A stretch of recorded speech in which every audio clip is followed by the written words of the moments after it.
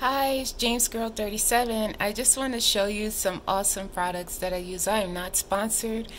So I've been using the sugar-free barbecue sauce. I, there's actually there's actually two barbecue sauce. So whenever I can find them, I grab them. So I actually found some new items and I'm really excited. You can tell by my voice, right? So um, this is the what's his name? G Hughes, Hudges. I love his products. They taste so good, and this is awesome for me because I'm a diabetic.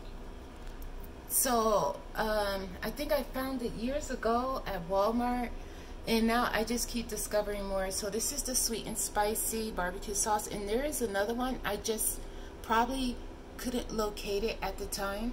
There's a teriyaki marinade smoky mesquite marinade, orange ginger ginger marinade, the Thai chili. I just tried that today. It's a little little spicy, woo, but it's good and yummy.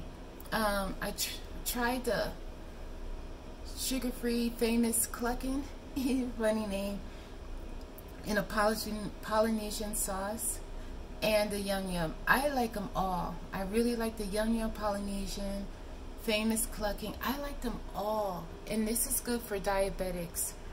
Um, I feel like it's good. I'm not a doctor, but I, I collect these. I have some more like in the back.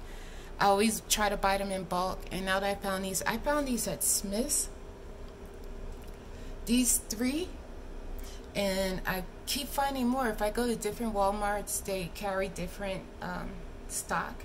So I just like double up. The only reason I didn't double up on these three because it's my first time trying them, and they're good. I just want to remember which store I got them from, but they're worth it. And you know, you can have food that's it's not so bland, and it's weird that I don't eat meat, but I put them on my shirataki noodles. I'm like super happy. about it. But um, yeah, I put them on my vegetables, and I don't feel like I'm missing out. Um, but yeah, I just wanted to share. Bye. Thank you for watching.